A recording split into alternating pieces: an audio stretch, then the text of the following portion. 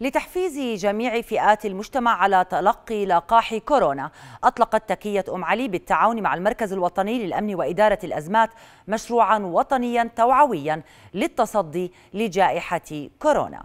وهذا ضمن المرحلة الأولى من المشروع. إذ تم افتتاح مركز تطعيم تكية أم علي في منطقة المحطة وسط عمان حيث تم توفير اللقاح في المركز للأفراد المستفيدين وغير المستفيدين من برامج تكية أم علي.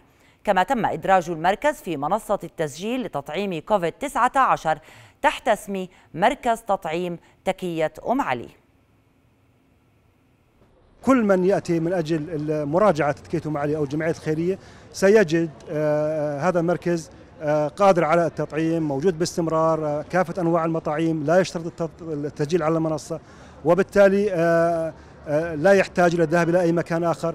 هذه جاءت في إطار تسهيل عملية أخذ المطعوم. من خلال شركائنا الجمعيات المحلية في مختلف محافظات المملكة البالغ عددهم 300 جمعية فإحنا إن شاء الله بنستهدف انه نوصل لحوالي 100 ل 150 ألف شخص يستفيدوا من هاي الحملة إن شاء الله. راح يكون في مراكز متنقلة بلشنا هلأ بالشمال بإربد وبجرش موجودين بالبقعة وموجودين بماركة. أه وإن شاء الله يعني إحنا خلال المشروع هذا مستمر على مدى ثلاث أشهر أو أربع أشهر قابل للتمديد فبشكل يومي في مراكز تطعيم متنقلة راح تكون موجودة بهاي الجمعيات الشريكة.